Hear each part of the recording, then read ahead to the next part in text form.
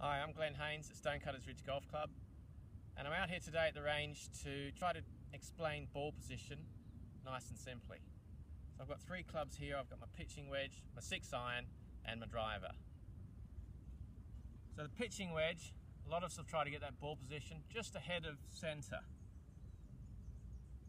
Fairly narrow stance and hopefully I've got the ball position just forward of middle there. We don't want it back here because our divots are going to get too deep and also our transfer of weight is going to get uh, restricted.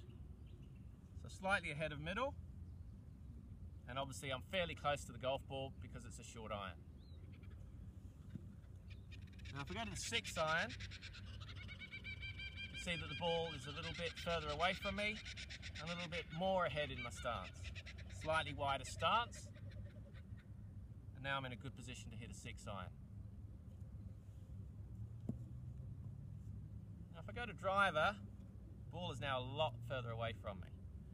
Slightly wider stance, and really we've got that ball position opposite my front foot here. Now by having the ball further forward, obviously the ball's on a tee, we can sweep that ball and hit it on the up slightly. With the wedge and the six iron, we're hitting on the down. With the driver, an ascending strike and get a nice high launch. Keep your ball position simple. Longer the club, the further forward, and we don't want anything back in the stance. Just another way to improve your golf without changing your swing. And remember, learn something new every time you play.